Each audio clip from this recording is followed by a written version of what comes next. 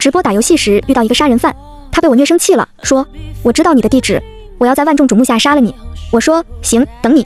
他不知道我早在一年前就被杀了，一我一年前就死了，被男友复活，如今哪儿也不去，安静的待在家里搞直播。圆圆，我要上班了。陆明森温柔的捧着我的脸，你在家要乖乖的，千万别出门。嗯，我点头，冲他露出一个大大的微笑。老公，你放心吧，这一年来我都乖乖的，很听话，从来没出门哦。知道圆圆最乖。陆明森捧住我的脸，落下一个吻，力气太大，我的头咚的一声落到地上，咕噜噜的打转。老公，我头晕，我的头在地上转了两圈，撒娇的埋怨，不要这么用力嘛。我边说边指挥身体捡起我的头颅。对不起，你别动，我帮你。陆明森赶紧道歉，弯腰抱起我的头放在我的脖子上。我拧了拧脖子，好了爷，我去上班了，下午七点准时回来。陆明森不舍得与我告别，走吧走吧，我挥挥手。陆明森离开家门，门砰的一声关上。我走进房间，换上女仆装，又走到书房前，打开电脑。冲摄像头甜甜微笑，Hello，你们的小可爱又开始直播了。哥特猫猫好可爱，猫猫好牛的，容貌与实力并存，你就是我的神。猫猫好勤奋啊，晚上直播，早上又开始直播，猫猫都不睡觉的吗？屏幕上划过一片弹幕，我看了一眼，笑着说要睡觉的哦，只是我身体异于常人，每天只睡两个小时就可以了呢。也有黑粉作妖，这个僵尸又出来恶心人了。好好一小姑娘，非要化这种怪异的妆，一看就不是好女孩。你懂什么？这叫哥特风。看不到主播的名字叫哥特猫猫吗？人家就是走哥特萝莉路线的，看不惯别看啊！弹幕里又开始为我妆容吵起来。我瞄了一眼柜台上放着的镜子，里面倒映出一张眼圈乌青、皮肤苍白到极点的女孩面庞。最惹人注意的是，女孩两边的嘴角仿佛被割开了，伤口一路延伸到脖颈，看起来十足惊悚。因为这个妆容，我迅速出圈，聚集人气，同时也带来大量黑粉。可我也很无奈啊，我身上的伤痕不是装，是真的。当初我被虐杀时，杀人犯拿着刀割开我的嘴巴，说要把我扮成小丑。如今复活了，伤害却未消除，我只能走哥特路线喽。我瞄了一眼联系人，最上面的香香不在线，便打开手机说：“大家不要吵啦，我要开始直播了。今天香香不在，我一个人先直播哦。”直播间里，粉丝们热情地刷起礼物。二，我已经死了。一年前，我在小巷子里被人虐杀而死，死状极其凄惨。男友陆明森接受不了现实，为查清杀人犯，不惜挖开坟墓盗出我的尸体，利用古老的阵法召唤我的灵魂。恰逢天地异象，七星连珠，法阵变异成复生阵。我的灵魂因死前怨气冲天，化成厉鬼。我化成厉鬼后，拥有呼风唤雨的能力。唯一麻烦的是身体。当初被虐杀时，我的身体被切割成一块一块的。如今就算凝聚成人，身上也全是裂缝，看起来十足可怕。有时候走着走着，胳膊腿儿还会掉。厉鬼以精血为食，陆明森必须每天给我带新鲜的动物回家，让我吸食精血。人为万物之灵，倘若吸收人类精血，我的身体基本上会恢复到正常人状态。但我和陆明森都不想滥杀无辜，故而我一直牢牢压抑厉鬼恶性。且一直留在屋子不出门，没有攻击任何人。就这样，我被陆明森偷偷藏在家里，足足一年时间。我能力增长得很快，每天吃的动物越来越多。陆明森只是个普通打工仔，负担极大。我想赚点钱，但又不能出门，便开始在网络上当游戏主播。每天等陆明森出去上班，我会换上女仆装，坐在电脑前玩最火的游戏。我是厉鬼，死后反应能力、手速极快，加上意识不错，打起游戏来十分凶悍，好多男主播都打不过我，很快小有名气。后来遇到好闺蜜香香，她是个大主播。我们在一次游戏中组队，她知道我是女生后很高兴，一直带着我打游戏。渐渐的，我的直播间被她带得越来越有人气。如今我们已经成为游戏圈有名的主播姐妹花。三上午，香香全程没上线，我很纳闷。香香是个勤奋主播，一般十点会播一场。我给香香发了条微信，问她为什么不直播。香香回我说：呜呜，我昨天晚上被一个男的恶心坏了。我问怎么啦？香香，我在大厅组队嘛，有个男的进来了，听到我的声音后认出我是主播，一直在调戏我。污言秽语说的难听死了，他一直挑衅要和我单挑，我气不过就答应了。结果他虐拳，还在我尸体上跳舞，说了很多过分的话，我听了很生气。那个 ID 是谁？我去虐他。香香把 ID 发给我，名字起的挺狠，以杀八人。确认后，我很快加上 ID。晚上以杀八人上线，还加了我好友。我二话不说邀请他进入游戏，他认出我了，开喇叭调戏我，污言秽语十足恶心，说我穿的骚，骂我是贱人。他的话颠三倒四，有点神经质，听起来就不正常。我生气的喷了回去，还约他单挑。他同意了，单挑时我虐他的拳，踩他的尸，让他战绩零比十，还打字嘲讽他，不许他投降。完事后他拉我组队，明显有话要说，我一点儿也不虚。他阴恻恻地说：“哥特猫猫，我记住你了，这辈子我最恨你们这种贱人。你和香香的地址我都知道，我要杀光你们这些贱人。”我愣了一下，嗤笑：“来呀，来杀我呀！”他说：“很好，你已经成功激怒了我。看到我的 ID 没有？别以为那是开玩笑，我已经杀了八个贱人了。”我说：“呦呦呦，这要牛逼呀！”男人神经质的笑，我会在万众瞩目下杀了你。你的地址是名城沙曼区东澳一带，对吧？我愣住，他居然真说出我的大致地址。四，弹幕疯狂地开始刷屏。天啊，主播的表情很震惊，看来主播的地址是真的。卧槽，他居然真知道猫猫地址，他不会真要杀人吧？猫猫，别和他聊了，赶紧道个歉。我回过神，说，真正的杀人犯哪会这么高调啊？他就吓唬我呢。男人神经质的笑了，小贱人，你等着吧。黑粉涌进直播间，嘲讽我，踢到铁板了吧？僵尸嘴那么臭，活该。真想看到这件女人被杀呀。说起来，一年前也有个女的，穿得很骚，在小巷子里被人先奸后杀了。我也知道，还被人分尸，惨不忍睹啊。黑粉们开始刷屏一年前年轻女孩分尸案，在他们恶臭的嘴里，那女孩自己不检点，穿超短裙小吊带，半夜卖弄风骚去小巷子，才被人盯上，最终惨死街头。那群人冷嘲热讽，重点都放在女孩被轮的话题上，仿佛这个话题很香艳。我的拳头慢慢握紧，房间里的东西因为我的怨气而剧烈摇晃。杀人犯似乎也在看弹幕，哈哈怪笑道：“一年前被分尸，那是他活该。”都是贱的，男人张狂的大笑，黑粉们也用淫邪的口吻讨论起那起杀人分尸案，但他们不知道，那个被分尸的女孩就是我。我没穿什么吊带超短裙，也不骚，更没有不检点。那天我去动物收容所救助流浪猫狗，时间太晚了，便侥幸的抄近路回家，结果被杀了。他们凭什么这样评价？为什么他们不恨杀人犯，却抨击我的穿着和人品？好恨，好恨！哥特猫猫，哥会来找你，到时候也分你的事。嘻嘻嘻，男人又开始神经质的怪笑。我缓缓咧开嘴，我等你。抱歉了，陆明森，我要破坏约定了，我要杀掉这些人。以为躲在电脑后就可以为所欲为吗？不可能！五，强烈的怨气盘旋在屋里，手机瞬间爆炸，电脑屏幕扑哧黑屏。我深吸一口气，努力平复下内心大开杀戒的愿望。好一会儿，屋子里摇晃的感觉才停下来。我重新坐在电脑前，打开直播间，有许多粉丝关心的问我，更多的是黑粉们阴阳怪气。主播被吓到了吧？哈哈哈，小贱人平时那么凶，结果被吓一下就尿了。哥特风这次被分尸的话，真成哥特风了，哈哈哈。还有人拼命让我向杀人犯道歉，服个软，说不定就能饶我一命。这个世界真奇怪呀！明明是杀人犯威胁我，他们却要我道歉，摇尾乞怜。还有人怪我化奇怪的妆，平时说话不注意才引来变态。他们怎么不怪杀人犯不正常呢？那些黑粉们为了黑我，什么难听话都说，连杀人犯威胁我都能与之共情，站在杀人犯那方嘲笑我。难道就因为躲在网络后面，为了黑一个人，连道德人性都可以抛弃吗？我是杀了他们全家还是怎么的？很快有一条弹幕吸引了我：哥特猫猫，享受最后几天的生命吧。直觉上，我知道是那个杀人犯的留言。厉鬼的直觉和普通人类的直觉不一样，厉鬼的直觉带着预言性质。我眯起眼睛，将之前旧手机翻出来，重新登录进直播间。Hello，刚刚手机坏了，不小心退播了，咱们继续直播哦。我笑眯眯地说：“什么牛鬼蛇神的，我才不怕呢！毕竟这个世界有鬼的，鬼可不怕什么杀人犯。”嘻嘻。接下来的直播过程中，我神情、语言全部和往常一样，丝毫没有丁点畏惧，还故意嘲讽那些黑粉：“谁在狗叫啊？一帮狗只能在网络上疯狂狗叫。”叫人杀我，你倒是让他来杀我呀！由于说的太狠，还被房管警告了一下。六黑粉们气疯了，骂道：“什么狗屁杀人犯，还宣称万众瞩目下杀哥特猫猫，你倒是行动啊！杀手哥呢？这娘们儿根本不把你放在眼里，你倒是行动啊！”黑粉们疯了一样刷屏，开始爪绑架杀人犯。假如杀人犯看到这些汹涌的骂声，估计会气死。以那玩意儿的性格，肯定受不了这么多骂，必然会采取行动。果然，一条弹幕刷出来：“别急，贱人很快就会死。”屏幕里黑粉们也有注意到那条弹幕的，不耐烦道：“很快是多快？”杀人犯回复：“过几天吧。”我盯着那条弹幕，缓缓微笑着说道：“不用等过几天，我的地址是 x x x x，你直接过来。”我一开口，所有人大哗。杀人犯预告要杀我，我因为恐惧吓得关闭直播间的事已经传到网上。此时直播间的人数疯狂增长，飙升到可怕的百万人。主播疯了，主播好刚啊！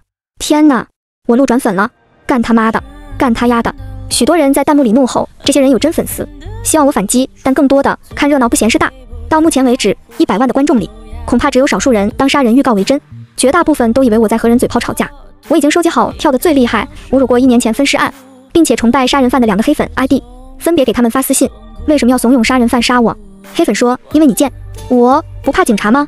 黑粉杀人的又不是我，谁怕呀？我倒真希望那个男人是杀人犯，把你这种垃圾杀了。我杀人犯是你爸爸吗？这么舔他？黑粉，只要他来杀你，就是正义天使。我笑了笑，敢不敢现实里见到我呀？我在万众瞩目下直播，百万人盯着，那粉丝为了面子，直接回复有什么不敢的？咱们线下约。我打字，你这是答应和我见面了？如果是的话，说答应儿子。他说答应，很好。我笑得很开心。旁边的镜子里倒映出一个笑容诡异的女孩，嘴角的两边伤疤拉长，仿佛怪兽张开巨口。就在刚才，这个黑粉答应和我见面了，他邀请一只厉鬼见面了。气，弹幕里，窝槽，主播的嘴好可怕。我刚刚好像看到他嘴角的疤裂开了，笑死，那是妆容。好病娇，主播六千六百六十六。不知为何看到主播笑，我忽然不害怕他被杀了呢。坐等巅峰对决，弹幕里吵成一团，我如法炮制，又在直播间里询问了另外两个人，一个黑粉，一个杀人犯，他们全答应了。他们根本不知道答应了什么。拿到三个人的誓约，我便下了播，闭了闭眼，我再度睁开眼睛，瞳孔已经变得血红，空气里浮现三个誓约印记。我点开刚才嚷嚷着杀人犯是正义天使那个房间，中央瞬间出现一个巨大的空洞，可以容纳一个人通过。空洞里面可以清晰的看到一个猥琐的男人躺在乱糟糟的床上，地上到处是外卖盒和垃圾。等等，我仔细看过去，卧室旁边的塑料袋里居然有只被剥皮的小猫。我目光阴冷，男人躺在床上，身体肥胖，拿着手机一边看一边骂骂咧咧。操哥特猫猫什么贱女人，一开口就邀请我见面，看他那副熟练的样子，估计线下不知道和多少男人约过了。贱女人，我看了他一眼，继续在屋里穿梭，走到厨房，里面一股巨臭的味道传来。我走进去一看，垃圾桶里还有一只猫和一只小狗的尸体，已经快腐烂。原以为只是个网络喷子，只要吓吓他就行了，现在却发现他居然在偷偷虐杀小动物。我从厨房走到男人床边，看到他在群里聊天。杀手哥，我是你的粉丝，赶紧杀掉哥特猫猫呗！你要真杀了他，我就给你打赏。杀手哥，帮我们杀掉那些贱女人。那个群居然是杀人犯的粉丝群，我惊讶至极，连杀人犯都有粉丝，这些人到底是什么三观？心里冒火，我朝男人吹了口气。男人忽然从床上弹起来，惊恐的四下张望，谁？我挑眉，没想到这男人灵感极高，居然感受这么强烈。我打了个响指，男人房间的灯忽然灭掉，陷入一片昏暗。曹，男人骂骂咧咧的去拉开窗帘，我悄无声息的出现在他身后，按住窗帘，窗帘怎么也拉不开。男人抓狂了，开始怒骂房东，随后一转头和我脸对着脸，我咧开嘴，嘴巴从两边一路裂开到后脑勺，整颗头翻了过去，几乎要掉下来。啊啊！鬼呀，鬼呀！男人惨叫着跌倒在地，又爬起来屁滚尿流的逃跑，样子十分狼狈。我不紧不慢的跟着他，吸收此人身上的阳气。鬼呀，有鬼！他惨叫着逃跑，不小心踩到外卖盒，整个人摔倒在地，手胡乱挥舞间扯开了一边窗帘，阳光照入，难受。我瞬间消失，返回自己的房间。空洞里，男人在屋子里乱跑，好一阵才平复下来。回头发现什么也没有，喃喃自语：幻幻觉，一定是幻觉。我刚才好像看到哥特猫猫了，妈的，都怪那个贱女人，满脑子都是她，才产生幻觉。他惊魂未定，赶紧收拾东西，念叨着道：我要离开这儿，我要离开这儿。我咧嘴笑，晚了，和厉鬼立下誓约。无论天涯海角都会被我找到。我正冷冷盯着男人，忽然，我所在的房子客厅里传来门铃声。我看了一眼手机，此时才下午四点多，陆明森还在上班，而且陆明森回来根本不用按铃，不可能是他。那么来的人会是谁呢？爸，我走到客厅，从猫眼里看到外面站着一个外卖员，戴着鸭舌帽，看不清面容。片刻，电话响了，赵小姐，您的外卖已经送到，请开门。压低的男声道：“我的确点过外卖，进来吧。”我说。客厅的门自动打开，里面窗帘全拉着，暗不见光。外卖员顿了顿，走进客厅，然后迅速回头关上门，反锁，从怀里掏出一把刀。大主播，我来了。他神经质地说，语音像是在戏玩一个小动物。没想到我会来的这么快吧？我没吭声，四肢趴在墙顶，头颅旋转一百八十度，咧嘴盯着他笑。他只要一抬头就可以看到我，可他没抬头。杀人犯打开灯，客厅瞬间亮堂起来。帽檐下，杀人犯的脸带着一张苍白的微笑面具，遮挡住面容。他没看到人，拿起刀疑惑打量四周，谨慎地靠近卧室门。我在墙顶无声无息攀爬。四肢扭曲到不可思议的地步，杀人犯依旧没抬头。他拿着刀缓缓靠近卧室门。啊，说起来，那个黑粉是杀人犯的粉丝，很崇拜他呢。不如就让两人见见面吧。杀人犯打开门走进卧室。你是谁？怎么进来的？房间里收拾衣服的男人听到动静，猛然回头，瞪大眼睛看到举着刀的男人，惊恐的连连后退。我倒吊在房顶，冷眼旁观。就在刚才，我将誓约之门开在卧室门边，杀人犯通过那扇门直接进入黑粉的房间。如今，两位在直播间里同仇敌忾喷我的战友。在房间里面激了，杀人犯挑眉，男人，哥特猫猫竟然是个男人，妈的，更恶心了。黑粉惊恐道：“我不知道你在说什么，滚出去，不出去我报警了。”杀人犯举刀一步步靠近黑粉，骗子更该死。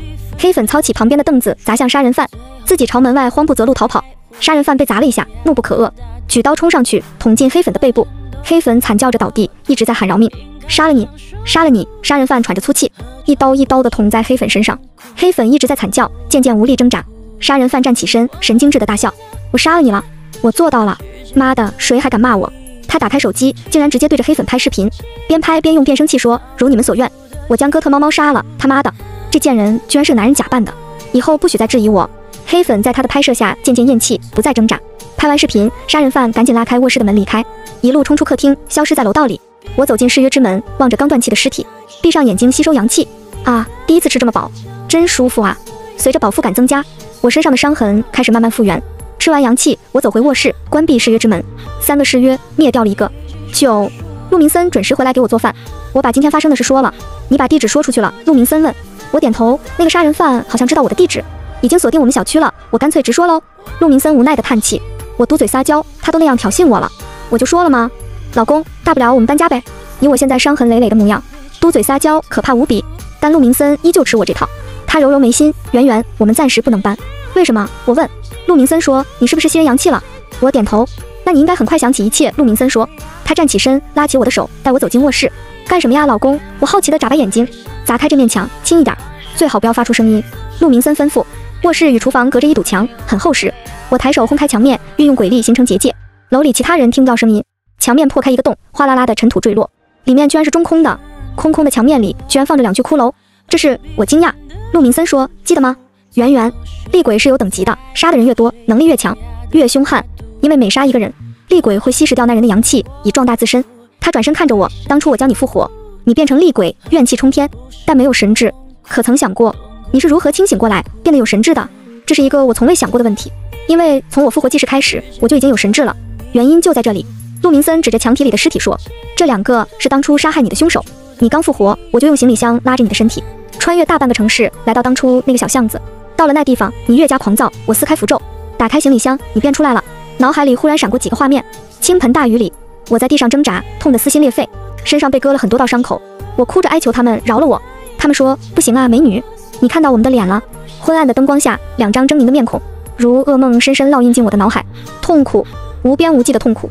他们将我拖进一间房里，挖掉我的眼，切割我的四肢，将我分成一块又一块，用塑料袋装好，扔向天南海北。又是一个倾盆大雨夜。陆明森拉着行李箱，缓缓走进小巷子。他撕掉行李箱上的符咒，打开箱子。对我说：“去复仇吧！”我尖叫着追随气息而去。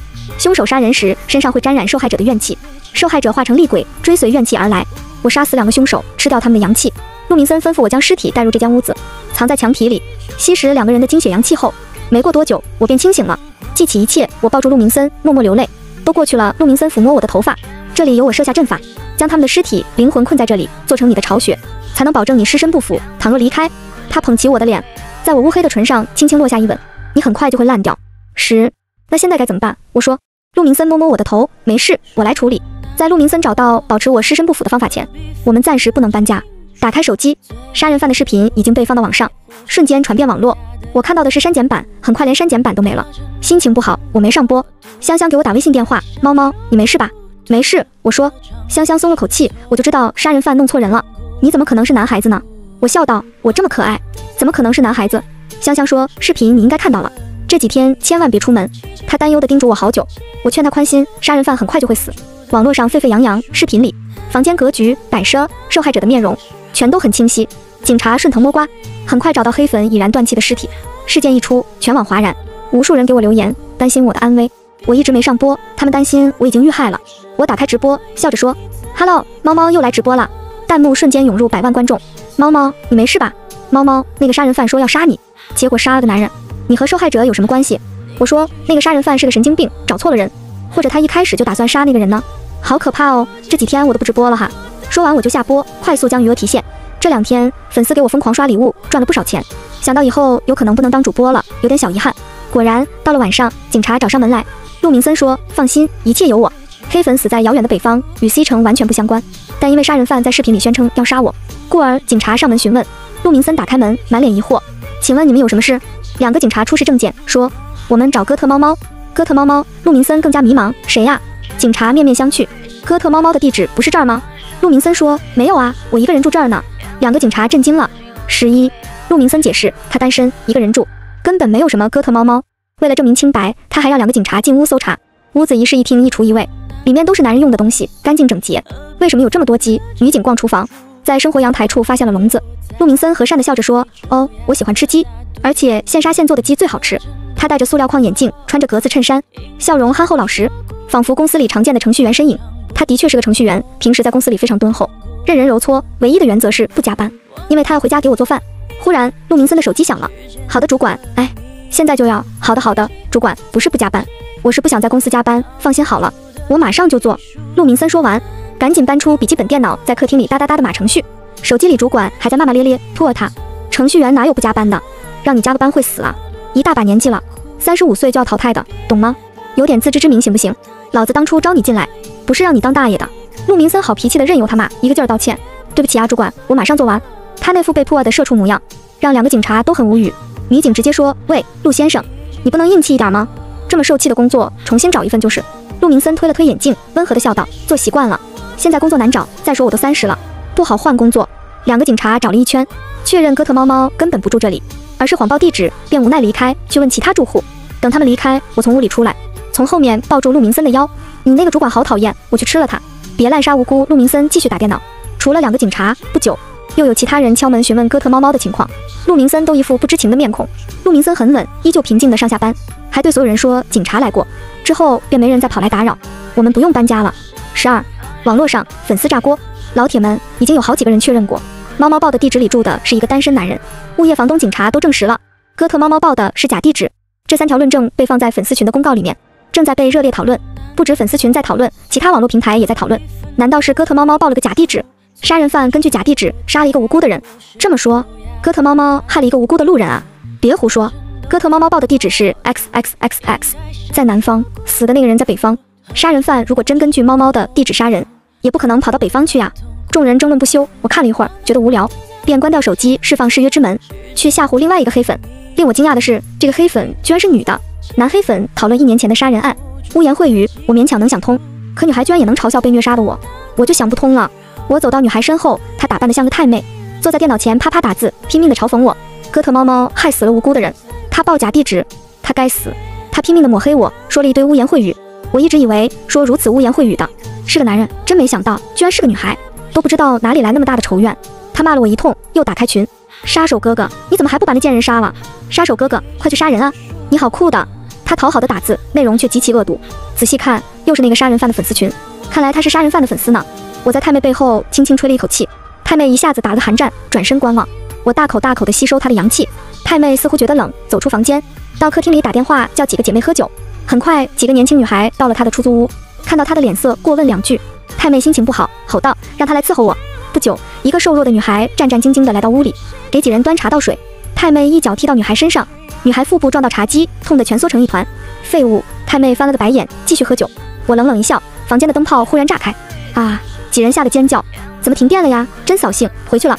喂，你们就这样走了？不走干嘛呀？几个女孩纷纷离开。太妹很生气，用力踹了缩在茶几边的女孩一脚。你也滚！女孩痛得眼泪直掉，赶紧捂着肚子离开。所有人离开，太妹一个人躺在沙发上生气。十三，男黑粉虐杀动物，女黑粉霸凌别人。他们两个在网络上不停地用污言秽语骂我，还侮辱取消一年前的杀人分尸案受害者。他们甚至认为杀人犯很酷，当杀人犯的粉丝，如此三观肯定不是正常人。如今看到他们虐猫霸凌，我一点也不意外。既然他们如此崇拜杀人犯，那就让他们见见偶像吧。我看了太妹一眼，回到自己房间，走进杀人犯的誓约之门。杀人犯的房间里没开灯，他抱着头，神色惊恐。怎么回事？我怎么会去北方杀人？明明我进的是某某小区啊！难道我产生幻觉了？最近的确有点累。他揉揉眉心，打开手机。我站在他旁边，看到他在翻看一个群，又是那个粉丝群，他也在群里。群里的人都在夸他厉害，捧他大腿。杀人犯不再惊恐了，脸色变得极其得意，说。放心吧，我会杀掉哥特猫猫。警察，哈哈，我是黑客，不然我怎么会知道哥特猫猫的地址？所有账号我都是假的，他们查不到。我嘲讽地盯着杀人犯，他还真把自己当盘菜了。我在他耳边轻笑。谁？杀人犯一下子跳起来。我从昏暗里浮现。哥特猫猫。杀人犯愣了一下，惊恐地扔掉手机，摇头。不可能，你怎么可能出现在这里？幻觉，这是幻觉。我微笑着说，不是要杀我吗？来杀我呀！不杀我，猪狗不如。杀人犯受到刺激，抓起刀子朝我捅来。我瞬间消失。杀人犯在屋子里追着我跑，随后跟着我进入卫生间。不管你是人是鬼，我都要杀了你！他拿刀冲进卫生间的门，然后进入了太妹的房间。什么人？太妹一下子从沙发上跳起来，和卫生间里冲出来的杀人犯面对面。粉丝和偶像终于见面了。你又是什么人？杀人犯怒吼，神色扭曲。幻觉还是真人？哥特猫猫呢？什么哥特猫猫？你到底是谁？怎么进来的？太妹拿起手机，我报警了。杀人犯举着刀，快说，哥特猫猫在哪儿？救命啊！太妹拿着手机朝门边跑。杀人犯一下子受到刺激，冲上去揪住太妹的头发，一刀扎进她的腹部。啊！太妹惨叫挣扎。杀人犯抓住她，像抓着一只小鸡，一刀刀扎得她浑身冒血。很快，太妹不再动弹。杀人犯大口大口的喘气，回头打量四周，发现客厅很陌生，又抱住头说：“做梦，我一定在做梦。”防盗门砰砰作响，外面有人厉声喊道：“开门，快开门！”杀人犯拿着血淋淋的刀，瞳孔震惊。太妹临死前已经打通了幺幺零，警察赶到了。十四，杀人犯落网。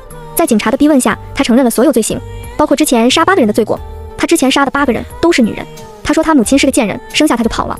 家里人一直在他面前灌输母亲是个贱人的思想，导致他从小就仇恨女性。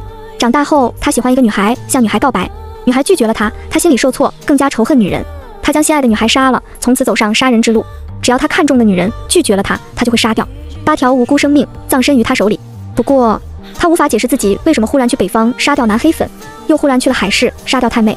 警察也觉察出里面的问题，但人的确是杀人犯杀的，无可辩驳。杀人犯被判死刑。警情公告后，全网哗然。有人为我和香香庆幸，太好了，杀人犯落网了。猫猫和香香不用害怕，可以继续直播了。有人怀疑其中的疑点：杀人犯为什么跑那么远杀那个男人？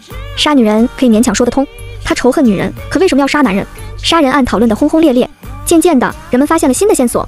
警方公布，死去的两个人，一男一女，就是当初在直播间里和哥特猫猫杠的最厉害的两个。哥特猫猫还约他们线下见面。经过提醒，网友们一下子醒悟过来，所以这两个人的死和哥特猫猫有关。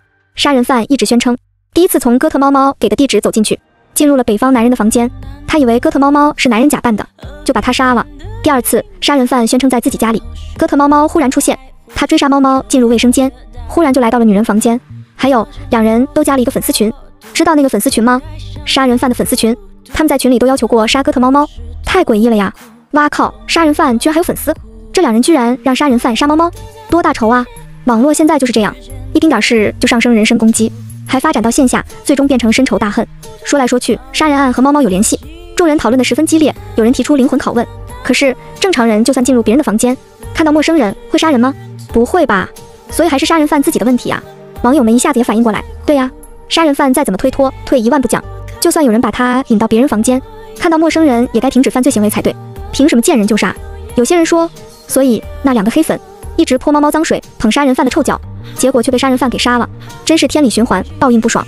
十五，因为这事儿，网络上掀起了网暴，杀人犯的粉丝群被曝光，里面的人也被扒掉马甲。很多人都好奇，一群把杀人犯当粉丝的人，现实里是什么样子？这群人被扒出来后，成为众人嘲讽的对象，以后交友，所有人都敬而远之。警察的官方号子郑重说道：“网络不是法外之地，任何人都没有网暴他人的权利。近些年，很多人因为网暴受到严重伤害，甚至有人自杀，此等行为应该受到严厉打击。”看到警察宣言，我感慨万千。网络不是法外之地。现在的风气有点奇怪，明明某些人在网络上正常发图片、发言论，不知为何有些黑子冒出来大骂，而且骂得特别难听，简直莫名其妙。他们骂完消失无踪，留下别人为他们的言论生气伤心。可因为网暴无法鉴定，好多人只能生生受了这罪。我和陆明森在家吃饭的时候，有人敲门，陆明森打开门，门外站着之前的两个警察。陆明森将两人迎进屋，两个警察说明来意，想调查杀人案中的疑点。陆先生，根据我们调查。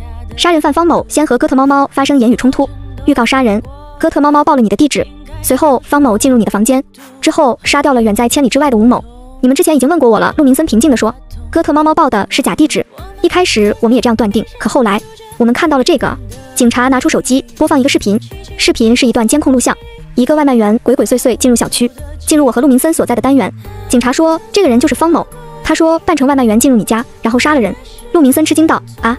我不知道啊，这是哪天？我看看哦，星期四下午，我还在上班呢。公司里的人都能作证。警察继续问道：“根据我们调查，你的女朋友赵苑，正是一年前被分尸的女孩。这两个死去的黑粉，在哥特猫猫的直播间里说了一些不好的话，侮辱你的女友。随后，哥特猫猫私信联系二人线下见面，两人答应了。没过多久，两人死于非命。陆明森目光微冷，人是方某杀的，和我有什么关系呢？警察面面相觑，片刻，女警道：“我们怀疑你就是哥特猫猫。”我在暗处差点笑喷，陆明森愣了一下，笑道：“警官，你们别开玩笑，我一个大男人怎么当哥特猫猫？”两人望着陆明森，眼神迟疑。陆明森从头到尾都很镇定。首先，我每天都有认真上班，公司里有监控，你们可以调取来看。哥特猫猫每天都在直播，他直播时我在上班。其次，就算我是哥特猫猫，也没有杀人，杀人的是方某。最后，我没有能力操纵方某去杀掉远在千里之外的两个人。一番话说的两个警察都很沉默。呼叫人也清楚此事和陆明森无关，但又对其中细节百思不得其解，故而找陆明森核实。如果真有幕后凶手，陆明森顿了顿，认真的说：“也该是我女朋友的鬼魂作祟。这三人，一个因为口角之争就要杀人，两个辱骂我女朋友。我女朋友在天有灵，肯定会恨他们。”两个警察根本不相信所谓女友在天有灵之说，面面相觑片刻，叹气道：“陆先生，我们明白你的心情。很多人因为隔着一层网络，就肆无忌惮地诋毁抨击他人，网暴别人，以后网络会越来越规范的。”陆明森道：“希望吧。”两名警察查了一下房间，询问几个问题，离开了。十六不久，案子了结，某些细节却成了悬案。网络上关于灵异的传说越来越多。后来有个视频牛人突发奇想，把我的直播视频截取很多张图片，将每张图片上的妆容给抹掉，露出我的真实面容。这些图片公布后，再度掀起轩然大波。天哪，哥特猫猫的模样和一年前被分尸的那个女孩长得好像，难道是双胞胎？你们看视频回放，那天弹幕里有人提到一年前的分尸案，注意哥特猫猫的表情。天哪，好可怕！巧合吧？我总算知道杀人犯两个黑粉为什么要死了，这是撞了厉鬼呀！这条不知真假的劲爆新闻迅速传遍网络。网络上遇到吵架的，有些人会说，以后说话客气点啊，网暴我的话，法律制裁不了你，厉鬼却能制裁你。再诽谤污蔑，小心厉鬼上门。我被扒出真实身份，便不再直播了，连香香的联系方式也删掉，再也不联系。那日，陆明森去上班，我悄悄跟过去，主管又扑了他，一会儿让他做这个，一会儿让他做那个，还言语打压。我看了十分不高兴，趁着主管去茶水间时走过去，警告他：喂，你不要欺负我男朋友哦。主管见到我，眼睛一亮。杀人犯执行死刑时，我通过誓约之门跟过去吃了他的阳气，彻底恢复生前状态，而且能力强大，可以在阳光下自由行动。我现在看起来就是个普通人。主管疑惑道：“你谁呀？谁是你男朋友？”我指着玻璃后面的陆明森，他是我男友。陆明森，主管又吃惊又嫉妒，他居然有这么漂亮的女朋友。他老好人一个，工资低，长得一般，性格沉默寡言，你跟着他有什么前途啊？我笑道：“我就喜欢他，怎么的？”主管拉住我：“美女，你跟我吧，那种穷光蛋，别跟着他受苦了。”我眨巴眼睛，你想约我呀？主管不知道哪里来的自信，行不行？我笑嘻嘻道，行哦，我跟你。圆圆，你怎么在这儿？陆明森的声音在身后响起。主管拉住我的胳膊，趾高气扬地宣布，他来找我的。今晚我们得一起吃饭，美女，我说的对吧？当着陆明森的面，他居然抓住陆明森的女朋友这么说话，可想而知我不在的日子里，陆明森被他欺负的有多惨。好生气，我笑着说，陆明森，你同不同意啊？陆明森表情阴冷，定定地看了得意洋洋的主管好久，才推了推眼镜，随你吧，记住别惹事。他在警告我别弄死人，放心放心，我就吃一顿饭而已。我笑嘻嘻地说。晚上我心满意足地从酒店房间出来，主管被我吸得半死不活，估计几年都会身体虚弱。陆明森在楼下等我，吃饱了没有？吃饱了。我扑进他怀里，他脱下身上的衣服披在我身上。虽然我用不着衣服，可我喜欢被他宠爱的感觉。如你的意，我辞职了。陆明森说，今天我出现在公司里，明天所有人都会反应过来，因为陆明森和分尸女孩交往的事情被媒体曝光了，我的照片挂在网上。虽然哥特猫猫和分尸女孩到底是同一人还是双胞胎，还存在争议，可大部分人见到我这张脸都会害怕。只要我真人出镜，很多人就会回过未来。我甚至能想象明天主管醒来，意识到我的存在会害怕到尿裤子的场景。我转头嘟起，我就见不得你被欺负吗？那种工作有什么好？陆明森说，离家近，不怎么在公司加班，可以早点回来照顾你。我现在可以自己照顾自己。我说，我只是不想你继续被欺负而已。陆明森笑了，没怪你。我原本就打算过两天辞职搬家。我睁大眼睛。陆明森笑了笑，面容俊秀而温和。我已经找到另外的方法，可以保证你尸身不腐，又能自由活动。真的吗？太好了！我高兴地抱住陆明森的脖子。最近，陆明森的房子快成打卡圣地，有许多闲人跑过来打卡。加上陆明森的女朋友就是分尸女孩的事情曝光，很多人跑来骚扰，我早就不耐烦。嗯，陆明森拉着我的手，一同走进温柔的黑夜。十七，我们搬走了。搬家很简单，我只要通过誓约之门就可以抵达任何地方。墙里的尸骨没用了。我碾成粉末，东西一扫而空。从此以后，天高海阔，任我们飞翔。城市里，老实程序员和他温柔死鬼女友的故事还在继续。